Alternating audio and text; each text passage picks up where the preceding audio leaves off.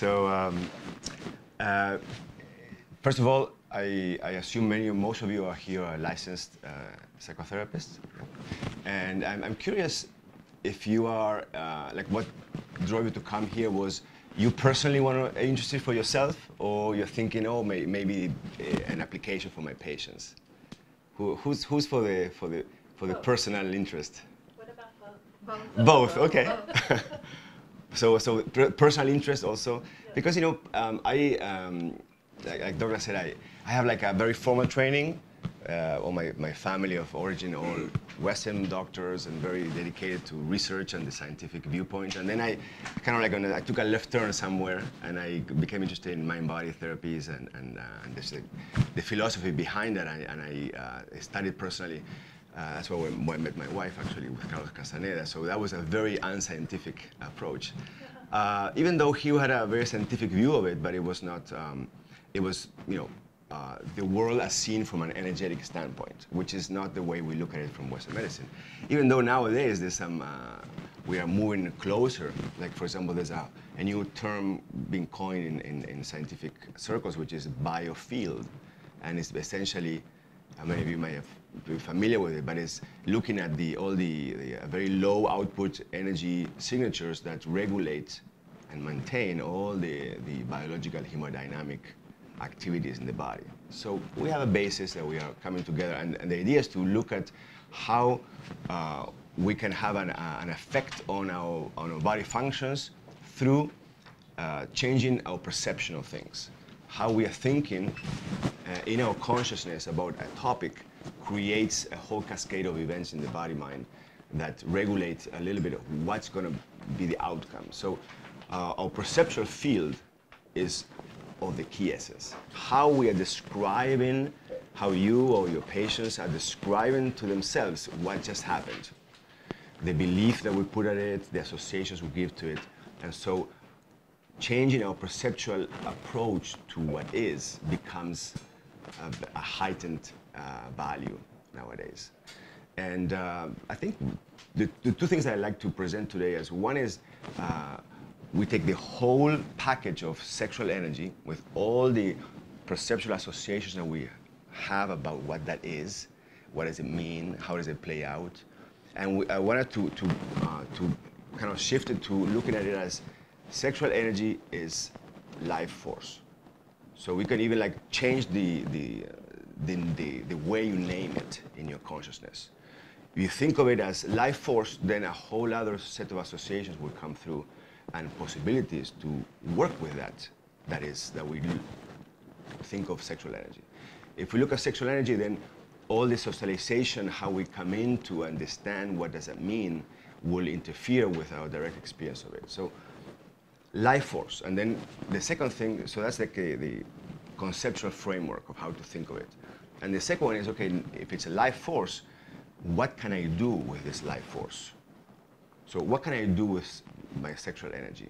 How can sexual energy be something that can be actually uh, integrated and, and deployed in, our, in ourselves, in our life, differently than how we normally associate sexual energy? Give us a broader spectrum of, of approach. And so let's, let's see what we have here. This is actually a presentation that I've uh, given some time ago, and, and uh, it's a little bit tweaked for you guys. But these are the, uh, the objectives that we stated in the, for all of you.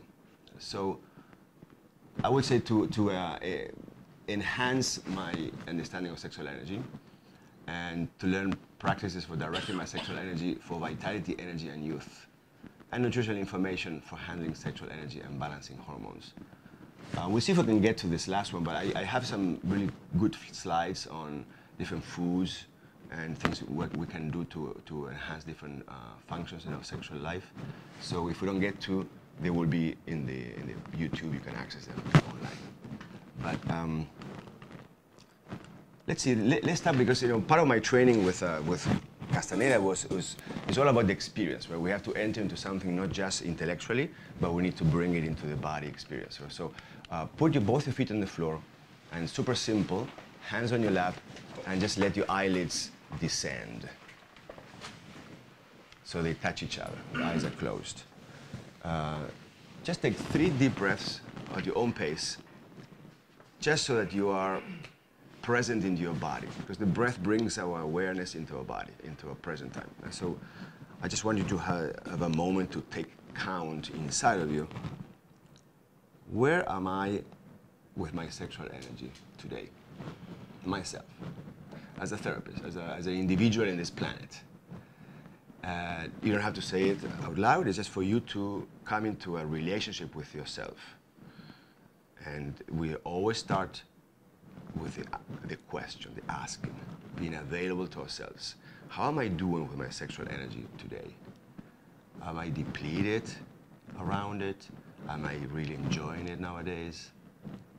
Is it uh, has become a duty that I'm supposed to? And just take a moment just to be with it. No judgments to yourself. Just really coming honestly to be in contact with what is.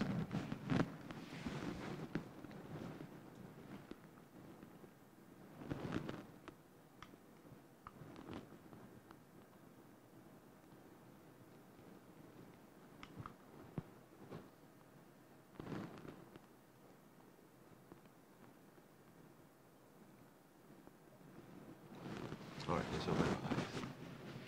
Now from there, so a, a little more in connection with yourself, we can. I invite you to uh, to to listen and to take in whatever I say or what you see, uh, not just uh, uh, intellectually, but get the feeling of it, get the intuitive part of you coming in, so we apprehend the information from more than just our thought process. You know, in, in, uh, in science now we, we speak of three brains, right? The, the cranial brain, the cardiac brain, and the gut brain. And each one has a distinct uh, service for the whole. So we want to bring in the, the feeling, the intuitive part, and the heart. So, as I said,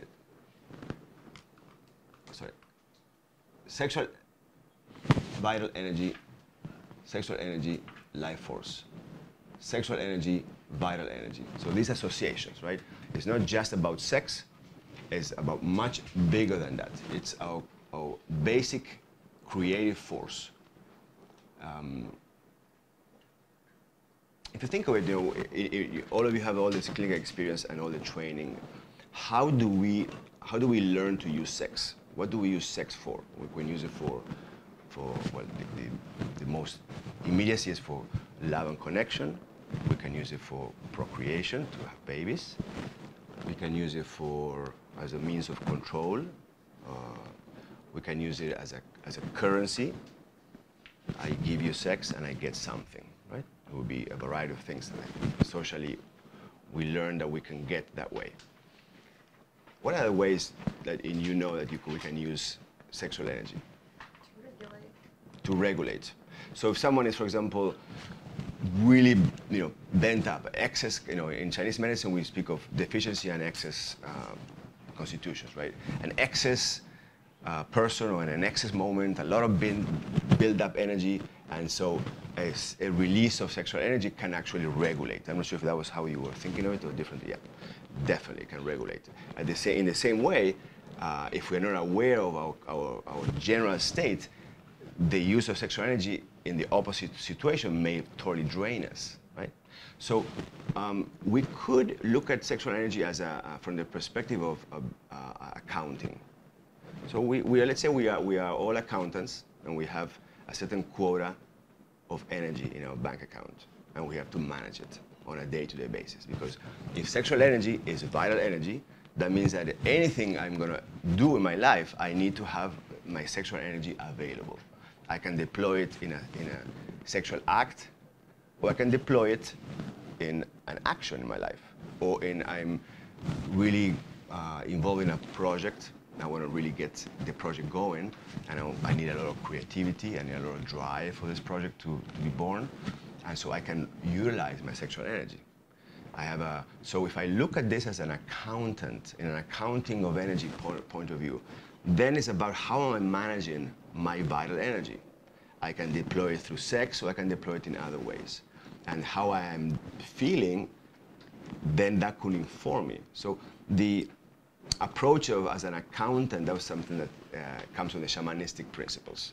And we can definitely, we've been teaching this for 20 years, and we have come to see that definitely it applies clinically. Uh, it's a very useful way. Uh, let's say, for example, because I wanted to, this is not in the slides, but I wanted to, to give that as a, as a practical nugget, right? So uh, one of the things you can do or you can have a, patient do is, okay, so you, you wake up in the morning and you give yourself a rating of, of how much how much my vital energy, how my energy feels like I'm at like 50%, I'm at 70%, I'm at 20%, right? So it's all about being in connection with where you are. So you give yourself a rate and then you, you know that some things will make you more energized, some things will drain you, right? Arguments may drain you or, or certain activities that you are resisting may drain you, and uplifting ones may give you energy.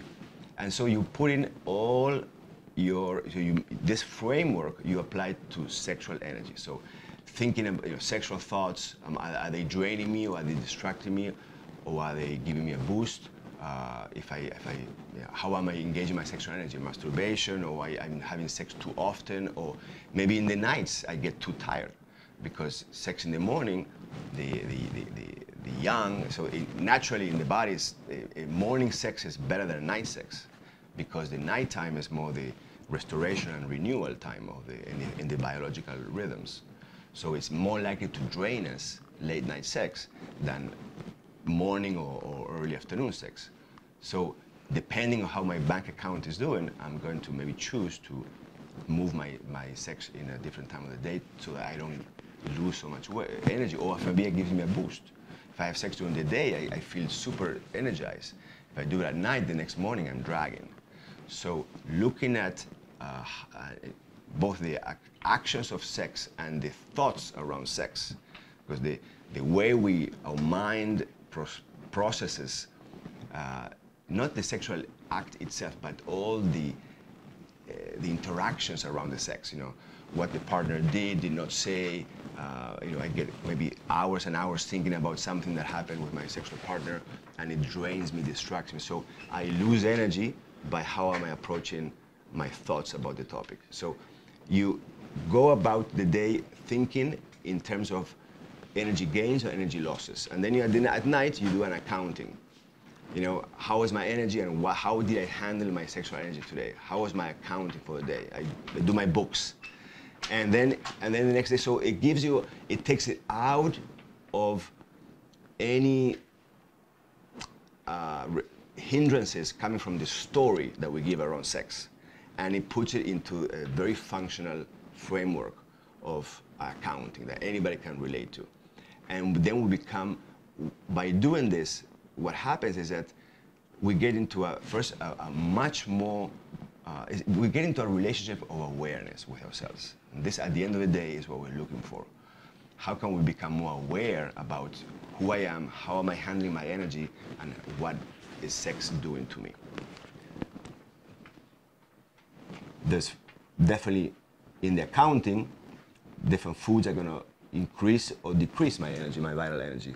Sleep, uh, the cultivation of all you know, if we if we are in a in an uplifted state of being, uh, we are happy. We are, you know, uh, we easily get surprised. We get engaged in things. Uh, the vital force will increase, and so our availability for sexual energy will also increase. Um, the thoughts we will get into in a second because that's critical. Basically, we uphold everything how we relate to sexual energy by how we are thinking about it, right? Our perceptual standpoint is it. And the intent, our intention, that also, uh, if I have an intention of, um, I really want to create something new in my life, uh, that's a, a big yearning for my spirit. So that intention is going to naturally redirect sexual energy into output of something, creativity in the life. So uh, it may be less available for the actual sexual act because the intent is redirected into a different output. And that is perfectly fine like that. If someone has a lot of sexual energy, or let's say vital force, how, how do we see someone with a lot of vital force? These are things that, that uh, we don't think of, but they, are, they come across. A shine in the eyes, like there's something in, when you look at them, there's something like really, it's, it's inviting about in the eyes, right? They're, they're present, they're engaged, their vital force is activated. That can be definitely seen. Uh, there's a mood of curiosity and presence that I was telling you. Uh, magnetism. You just, you just like being around those people. Uh, it just feels good. There, there's something positive, uplifting about being around someone whose vital force is available and deployed. And this is what I was telling you, you know, if, if I'm looking at sexual energy bigger than just how I have sex and so forth, then it beckons the question, what do I want to do with it? Where in my body could I send it to? Can I actually, let's say I'm having digestive issues, I'm having a, a heart condition, whatever it is, I'm having problems focusing. Can I use my sexual energy to feed and support that organ? And the answer is absolutely yes, we can do that. Um, well, these are some, some statements. I'm not sure if I want to go into it for time's sake. Um, do any of these statements really trigger your curiosity? Do you have a question about any of them? These are some, some, uh, some things that, uh, uh, from my experience and from things that my teacher would say in terms of how we are socialized, you know, how we are socialized to go about sex. And, um, and a lot of it has to do with um, the socialization is, you know, like my teacher would say, we have, we have lived in a man, in a world written by men for men. And sorry guys, for us, man, we've been on the, on the, on the receiving end of a lot of privilege and time's up. no pun intended. Uh, so there is this uh, standpoint, right, that the man deserves and the woman has to serve. And that's, uh, needless to say, old, not, not applicable to our days. We, we wanted to, uh, looking for a shift, uh, a co-partnership. And, um, and so how we engage in sex is huge in the socialization model, right? And so uh, can the man step out? Like, you know, I, I, have, I have a patient of mine who was recently um, uh, recalling an interaction with, with, with uh, an old girlfriend where um, he was young and, uh, and he, of course, was, he, as a man, was like, you know, go to a party and I want to have sex. And, and I, if she doesn't, if she doesn't explicitly say no, she must mean yes. And so, uh, the, long story short, they, they, they ended up having sex, but, uh, but he, was, on his own account, she was like not too engaged, you know, I don't know why, you know, but she didn't explicitly say no. So he assumed that she was fine with it. And, and then it turns out that the, for her, the experience had been very, very different. It had been almost like uh, an abuse uh, of boundaries. And so that led to a lot of issues with him. But the point here was that he genuinely didn't even realize. He genuinely thought that it would be okay, just because that's how things are. So, can, can as men, can we step into an awareness of uh, where is she at? You know, step out of our cocoon of how we are just going and just, you know, we are the king in the room. And where is she at? So the willingness to put my perception in, in the perception of the other. And the second one is, for the woman in kindness, can she enter into a, um, um, a congruency with her inside and then say, speak and say, no, I don't, I don't really want to do this now. Uh, use, use the words and, and, uh, and then if, there's, if both things are there, if, if there's an expression of our genuine self and there's a listening and a, and a willingness to empathize, then, then we have a co-creation. And so this interfacing is going to lead to a lot better use of our sexual energy. Because a lot of the, you know, uh, if, if, if someone, if, if I, if I uh, have an orgasm, then there is a release of vital force. There is a, a say, a, a loss in a way. But it doesn't have to be a loss if there's a regulation about it. But uh, if there's a certain component of biologically of our, force gets goes down, but a perhaps bigger amount of energy entanglement is going to be by the story that I tell myself around what happened this in this intimate moment. So, uh, reviewing the story that we tell ourselves is another way that we can definitely impact our vital force and, and clearing the misunderstandings within myself and pinpointing what things needs clarification, you know, uh, because we assume something and then we take it as such based on our prior experience with it. And, uh, you know, in, in, the studies they show nowadays that uh, an event in consciousness only is maintained for a few seconds.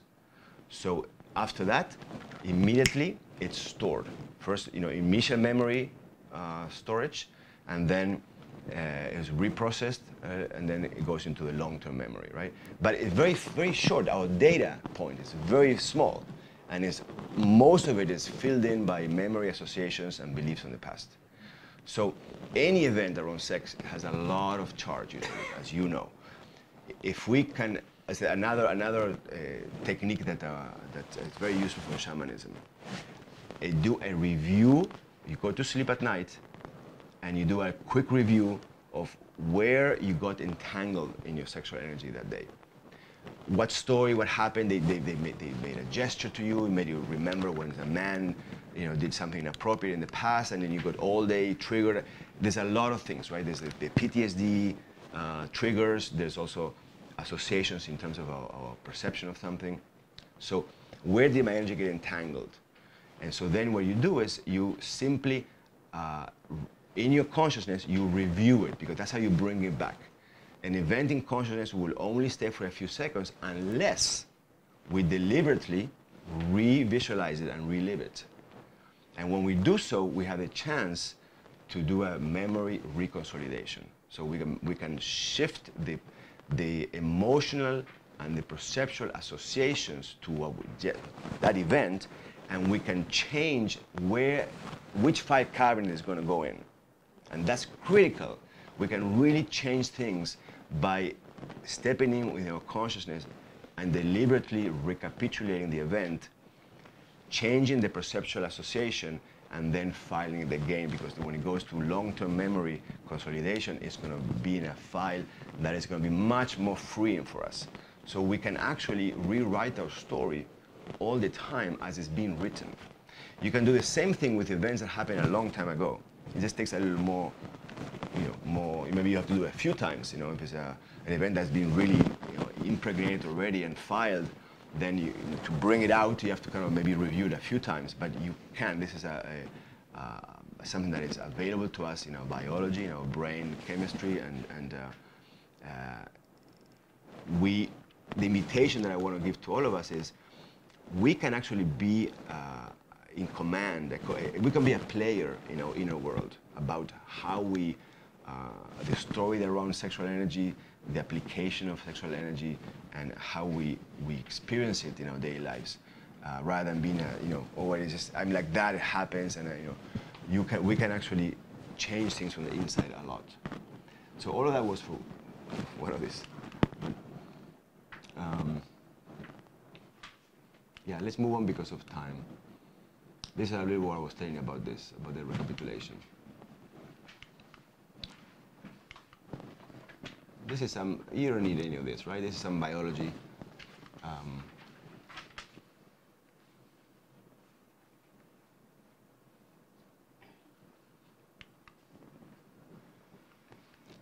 this is an interesting uh, uh, conception from biology and also um, from shamanism, which is, in, in a way, when, when, uh, when there was no meiosis, when it was just mitosis, uh, then in, basically biology was immortal, right? Because you reproduce exactly the same in the next generation.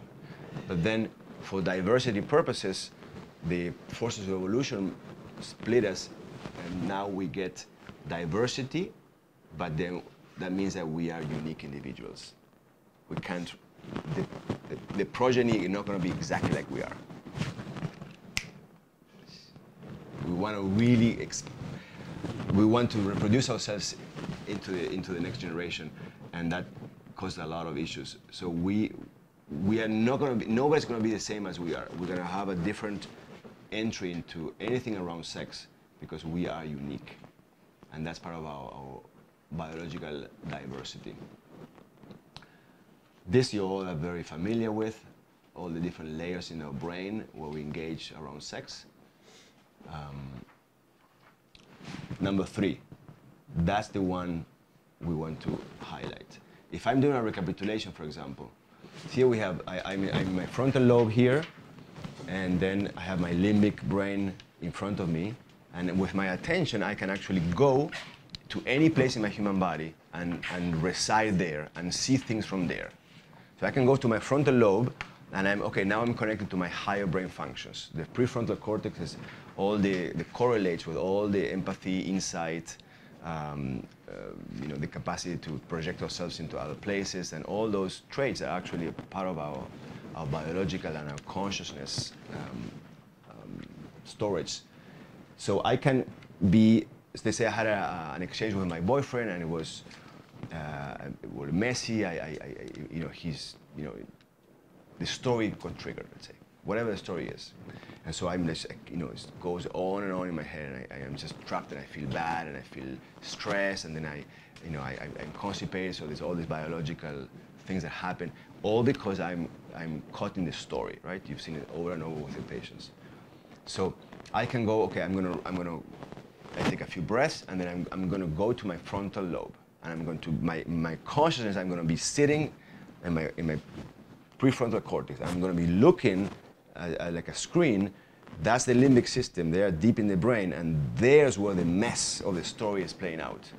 And I'm like caught, right? Because that limbic system is in control, is in command of, of my body mind.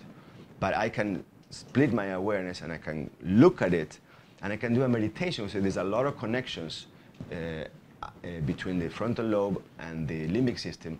And the limbic system can be modulated from the frontal lobe. So I can actually come and, and, and as I review the, this event, I can tell myself a different story about it. I can give a context because in the moment, we, like I say, we, we usually use a very small amount of actual data in the moment, and then the rest we fill it in with our, with our prior experiences and memory. So we can actually look at it again and go, oh no, actually I didn't see that, or maybe I should have asked that, and it's not that bad. And, and as I'm doing that, I'm breathing it's very important to keep the breath flowing because that keeps things flowing in the, in the body mind. And then I start to re-regulate the limbic system impulses.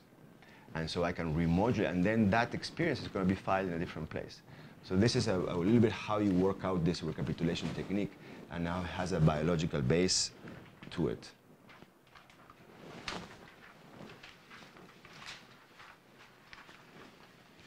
In women under stress, blood flows to the frontal lobe. This is a functional MRI study.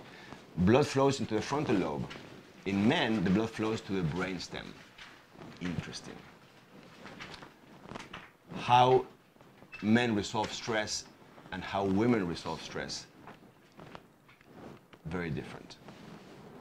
Is that because men fight and women have to think of how to get out of the situation? Well, that's part of it, right? It's, it's a, there, there's a, a, historical base of that and there's a socialized base of that. Um, but there's also a biological, you know, there's, you know, the, the chicken and the egg. What, what came first? The, the, the, biology in women is naturally that flows that way, or does it happen because of behavior, right? Probably the first one is more stronger, the biological, uh, than, than the, but you know, nowadays with epigenetics, we understand that uh, the environment can really have a deep impact in, in, what happens in the body. I would say, for example, in base of what we were just discussing, is that even though this is what happened naturally, we can actually change this.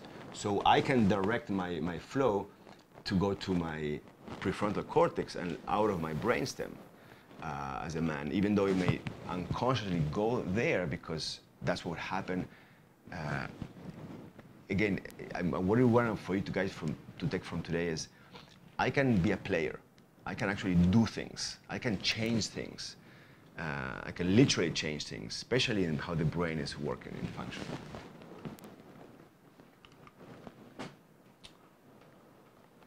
Uh, I'm not sure if you're interested in any of this. Probably not. Maybe yes. But uh, let's keep going.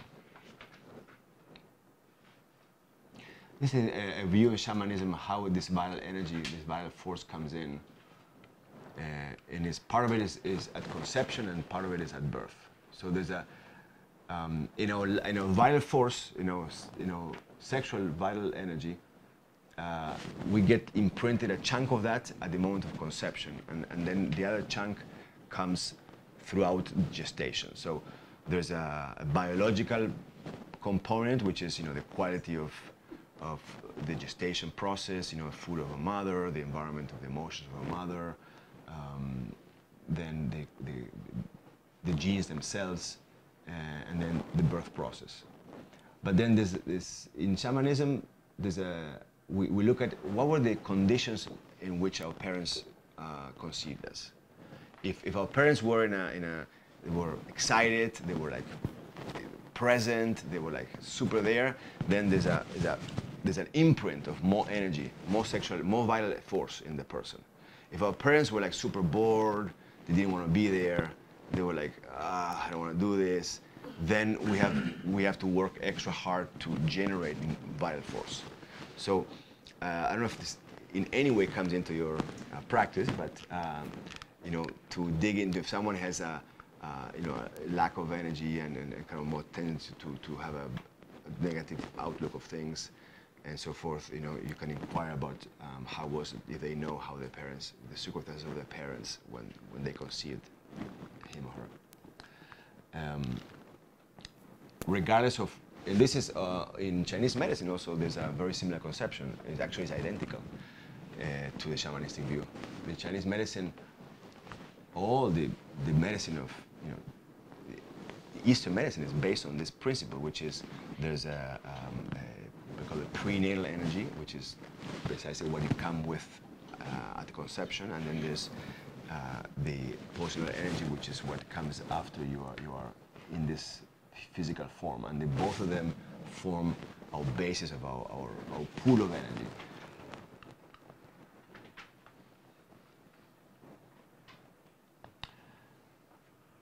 Another thing is that um, this you may you may come across it or not in your practice, but there's a um,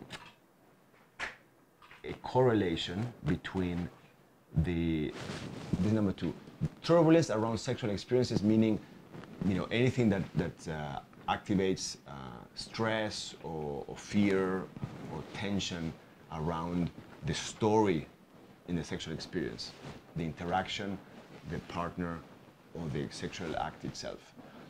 Um, and some as a as a basis for the for the development of fibroids and tumors in the in the uterus in particular, but it could be any of the reproductive system, uh, ovaries, um, and so forth. But very often, um, a patient that has a lot of fibroids, I would have them uh, recapitulate, directed recapitulating the sexual interactions and, and cleaning the associations from that.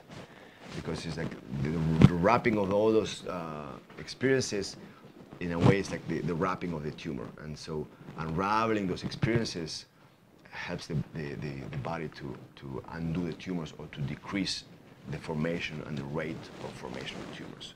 So there's a correlation between what the body is physically doing and then our story. How we are perceiving ourselves is not happening in a, in a different track than what the body is doing.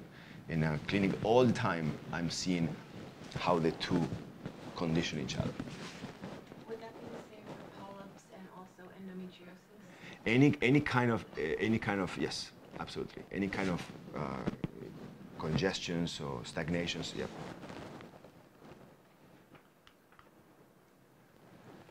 Oh, this is another thing here. Um, number four, I don't know if this, uh, this is not really part of our socialized upbringing, right? When we never, nobody tells us, hey, you know what, maybe you, think about being celibate for a little while. A little while, maybe a month, maybe a few months, maybe a year, um, maybe a week. But the idea of withholding our sexual energy for purposes of re- having it available for other issues like learning more about who I am, understanding myself better. For example, if someone is, is having a really difficult time in, in, your, in your therapy, uh, you may consider suggesting to them uh, to refrain from sexual energy for, for a little bit while they're working the issue. it will because again, it's sexual energy is vital energy. So if I don't deploy it in the sexual act and in the in the mindset of being thinking about sex, then it's going to be available for other things like uh, better resolution of, of internal issues or a health event that you want more vi- vital energy available to recover. Then you don't want to drain it too much in the sex all these crossovers because the understanding of, of sexual energy is and i want to go actually go into uh, this uh, circuitry this is obviously uh, a part of not just shamanism is also part of oriental medicine and martial arts practice meditation practices you know meditation is, is there's so much studies and information coming through about the real impacts of meditation.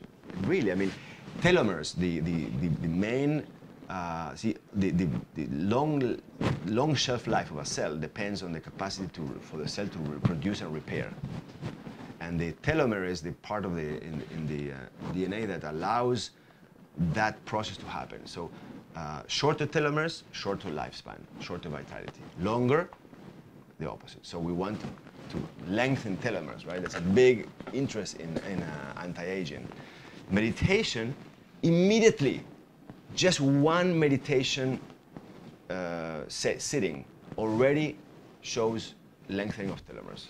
And it has uh, down regulation of cortisol uh, output, I mean, all kinds of biological markers coming through in research about meditation states. Meditation is the act of being, like I told you, like I, we did a moment ago with uh, how you close your eyes and just connect to where am I with my sex today. That's meditation. It's the, the act of just being present with yourself and whatever is in front of you.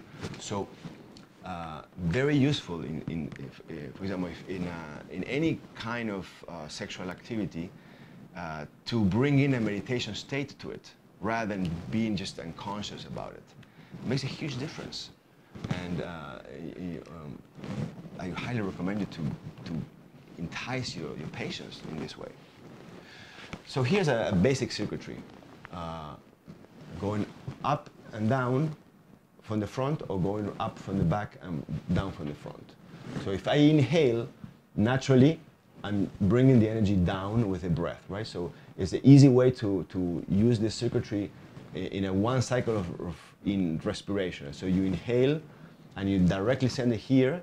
So quickly inhale here and then up along the spine and to the top of the head. And then when you exhale, you bring it back down to the belly. And inhale up and exhale down. And that circuitry circulates sexual energy. So it doesn't get, sometimes uh, like for example, uh, you, you, may, you may know of, you might have heard of uh, practices to uh, hold the orgasm. And so the way to do that is to circulate the energy. So it doesn't get, uh, it, it, when the moment of the climax is approaching, the energy is, con is, concentrated in this pelvic area and one can feel it. And so if you can redirect it, redistribute it again, then the climax will subside and the energy keeps flowing rather than being just then lost out. You can do that in the moment of sex as a way to regulate the experience and be more in a meditative state. You can do it regardless of the sexual act, just to circulate vital energy. Uh, for example, let's just do it a quickie. Why not? Since we are, since we are talking, so it's only talking, right? So sit again with feet on the floor. This will be super simple, super easy. And uh, close your eyes and then, uh, first of all, connect to the pattern of the breath. So inhale is uh, bringing in the energy of the breath into the lower belly. And then imagine it goes up along the spine. You can visualize it. And then it comes back down the front. So first, just, just informally tune into this circuitry. With your inner mind, you can absolutely do this easily. Imagine that the a, force is rising up along the spine from the sacrum to the top of the head, and then pauses in the crown, and then it naturally comes down the front all the way to the, to the perineum, let's say, to the very bottom of your body. And then see if you can now then match the breath to that circuit. So inhaling up the spine to the crown, exhaling down the front to the lower abdomen. And you play it out whatever way works for you. Just get into this easy, simple, circular flow. You match the, the feeling of the movement of the energy with the breath.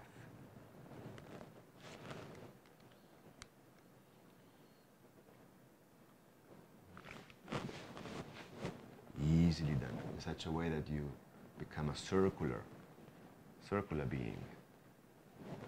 And things can flow, and you can direct that flow with your own intention.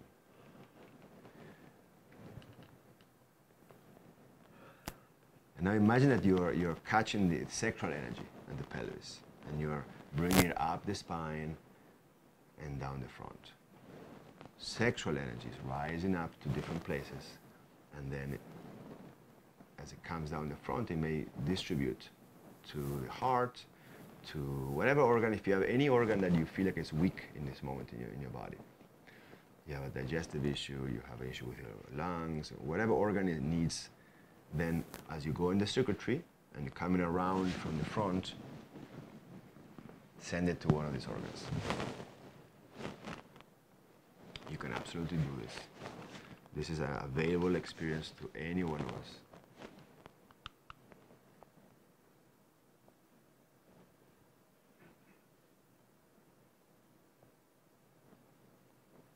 Open your eyes.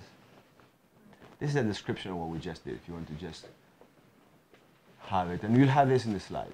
But this is a super, super easy way that can be practiced. Uh, let's say someone has a, a, a, you know, you're working with a patient, they have, they have a lot of sexual energy issues, uh, for whatever kind clinically. Uh, and we know that the, the, the, to circulate this, to open up this, the thought, the story about it, uh, if you have physical issues associated with it, then this is something that can help them as you work with them. Nowadays, you know, 21st century, we have we know too much about the intersection between consciousness and, and biology, and about uh, the plasticity of the brain, and a, a lot of things that we, we can't just go by old morals. We have to incorporate this. This is part of uh, the way we practice uh, therapy uh, is going to incorporate these things because this is how, what's available to us. This is another, another, another movement for, for working with sexual energy. Uh, this may, may be, it may be a, um, I, I'll show you one thing, because this may be a little bit, uh, I doubt that you would be doing with a patient, but you might, but for yourself. But say there's a, there's a lot of blocked sexual energy, right? Someone has uh, you know, an addiction to sex or, or a lot of issues or trauma around sex, and there's a lot of just blocked energy. So then, uh, with a simple breath, you could have it expanding like this, the hands to the side, and inhaling, and then exhaling, going like this.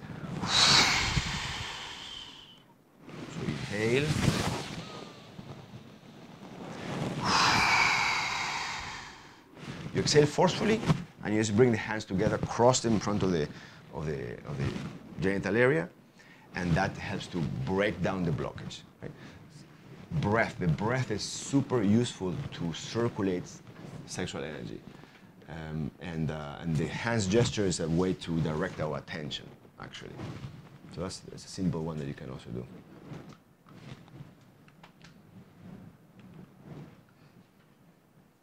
This is for, for the ones who train in, uh, in Eastern, approaches, Chinese medicine, or all Eastern, Eastern uh, conception of, uh, of sexual energies has a similar base. The vital force of sex nourishes organs. The brain, the kidneys, the sperm and the ovum. It's a nourishing type of energy. Sexual energy can be redirected to manifest other kinds of energy. You know, and the, the, the basics of, uh, of the equation of is that energy is can only change, right? Like matter, it can only change. It doesn't doesn't really get lost or created. So we can use sexual energy for sex or we can use it for nourishing organs, for health purposes. We can use it for creativity. We can do all kinds of things. That's the idea. All kinds of things. And the kidneys are very important in, in, uh, in Chinese medicine uh, regarding our, our, our, sexual energy and our libido. So if we have uh, issues with arousal, impotence, uh, low sexual drive, then the idea of nourishing the kidneys, you, you may want to entertain that thought because it will give a lot of help to the person. Sometimes any one of those things, that we want to mention it, can be caused by a blockage and not by a deficiency. So you have to kind of see the person is like red complexion, forceful voice, you know, strong physically, then maybe, and they're having like low libido and, and all those things, it may be that it's not that they are deficient in the kidneys, that maybe they're just like too bound up. They need to just let, let loose, right? So in those cases, you need to circulate, and then that will arise, the libido will come up by itself. But, but if, unless that is, you need to nourish the kidneys, give good foods, have sleep early, don't have sex later after 10 p.m., um, things like that my patients are always they always like when I tell them not to have sex late, they always they want to check with their partners because you know it's uh, you get into grooves, right? We have sex that you know it depends on our, our, family schedule, but but the truth is that energetically, physically. Uh, if, you, if the person is depleted, uh, it's, it's going to be a, a, big plus to refrain sex in late night because that's a time for actually renourishing. And if you are spending it, then you, you, you get a debt.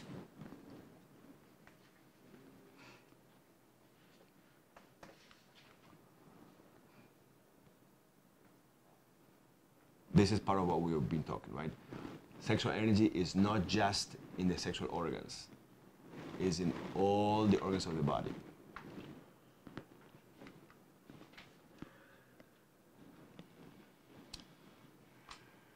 So, and again, a takeaway is this, this the, even the thought of it, that I could actually take sexual energy and send it to different places. I can send it to different parts of my body. This is one. This is one that's that's very useful for because you know, if we think of uh, what is the, the number one, the number one challenge for the 21st century, what would you say it is? For human beings, how, what's going to be the number one challenge for you? I mean, let's put aside global warming. You know that. But let's say in terms of uh, ourselves, right? Uh, the studies that show is that is stress. Stress all the old-fashioned stress because things are getting so fast, so full, so much information and simultaneously available and expected to be responded simultaneously as well. The load of the, of the system, our, our, our fight or flight responses, our autonomic nervous system regulation is like taxed to the maximum and it's only going to get more. So how we, how we handle, right? Mental burnout, uh, uh, physical issues. So sexual energy can be a great tool to assist us. Let's say, for example, I want, I'm, I'm in, a, in a mental funk, right? And I want to get some more clarity, get more focus, more concentration. I have a meeting, I have a uh, challenge uh, in front of me the next day. So um, let's do one more practice, one more practice. Feet on the floor. And, and uh, I'm just giving you some small samples because, of course, this is a very simple one hour lecture. But but um, again, connect to, to your own internal. You have the, the thought and your attention is where? Inside of you, right? This is about you and yourself. And now what we want to do is we want to make this connection. I want to bring sexual energy into my prefrontal cortex, into the top of my head, the front of my brain, in the front of my skull. And so the same thing, use your breath as a vehicle the breath is the easiest and most available vehicle to use to direct energy to different parts of the body. So inhaling and then feeling the rise of the energy from the pelvis to the front of the brain. And then it hangs a little bit at the end of the inhale and you hold the breath for maybe two or three seconds and then it naturally descends as you exhale, right? it's almost like the energy hitchhikes and goes with the inhale up to the brain. Then you hold the breath a little bit and the energy kind of bathes the brain. And then when you exhale, the breath goes down, but keep the energy up there. Don't bring the energy back down. Almost in your intention, you can do this. It's a subtle difference. Rising up with the inhale, bathing the brain with this vital energy, bringing more clarity, more focus, more presence. And then reset naturally as you exhale. But the emphasis is in the lift and the inhale. And just do a few cycles of that as if you're splashing some, some force into the brain.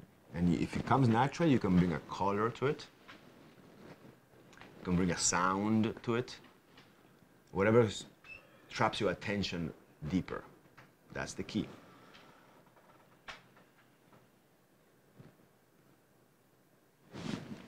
All right. You can open your eyes.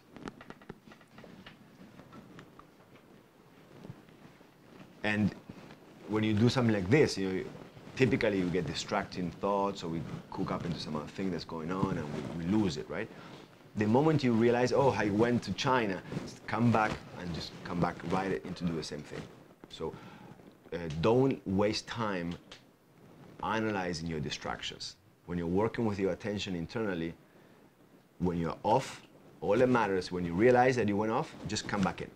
That's all. And um, like I said, we are, we're probably wrapping up now, but uh, this is uh, this is my more for, for questions now, right, Doug? Yeah. Yeah. So so this is just look. This will be this is all great information about uh, some food uh, suggestions, and you can access it uh, in the online. Okay? We'll have some uh, some foods for the, around the menses, before and after. Um, how to nourish sexual energy and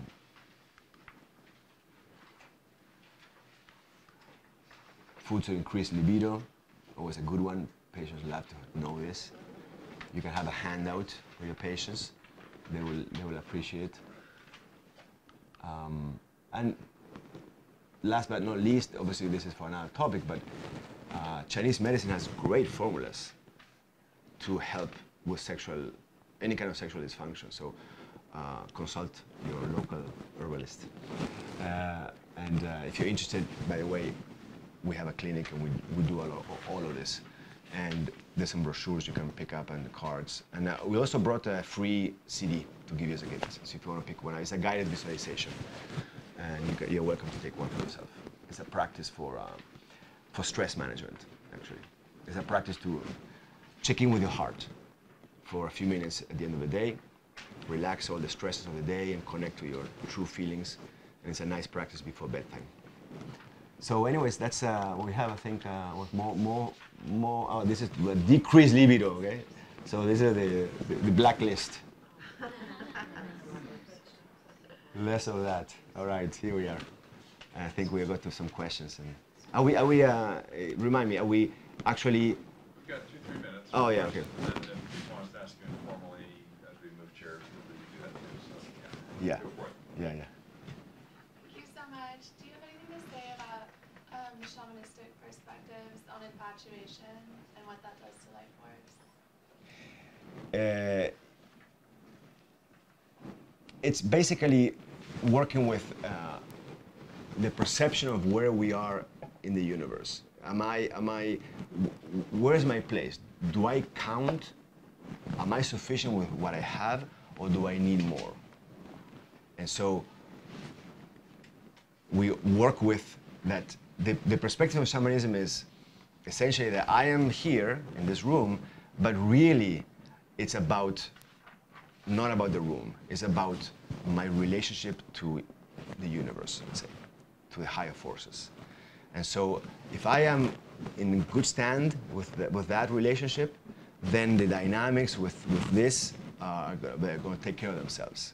I'm not going to be needing too much or pulling too much. It regulates my, my, my needs in, in the world uh, in, a, know, uh, because I have my connections. Like I have my, I have my friend, and I'm good. I don't need, right? I can do and have a great time in life and have a, an amazing relationship and experiences, but I'm not needy. I have my, I have my own connection, and that's I'm self-sufficient that way. Know that helps you out. It's a long, it's a, it could be a longer answer, but that's an essential tidbit. I had a question about the recapitulation and like if it were a sexual trauma that's where you're working with. Yeah. Um, and what associations would kind of conserve that sexual energy, um, how you would want to work with that sort of memory. Yeah, yeah. Well, a simple way when you're doing the recapitulation is, um, in a case like that that has an emotional charge, uh, one thing that you can do or can have a person do is put their hands on the heart as they're doing it, right? You can be laying down too, but just you're connecting to and, and you are in the presence of all the feelings as well, right? So you are here. You are reliving the, the experience, and then uh, whenever there's you're standing in front of something that is triggering a lot of emotion, right? Uh, hurt or sadness or anger. Then you, you pause there and you just work with the emotion and you use the breath and you go, okay, uh, I release, you know, all the, the tension or the unwanted when you exhale, and then I breathe in fresh and clean energy or, or, or, or peace or, or self-respect, right? So use the breath to clean up the emotions. And then you just and then you and then you, if- it gets too overwhelming then you pause and it's okay bookmark let's say. You know, and then um, you don't try to muscle through it then you do again in a moment later or the next day or so you work with whatever you you you, you are able to engage in that moment especially when there's higher emotions. And then in those cases also you may need to go and re- do the same thing more than once. Mm-hmm. Until you feel like in being in the presence of that episode as you relive it doesn't trigger so much emotions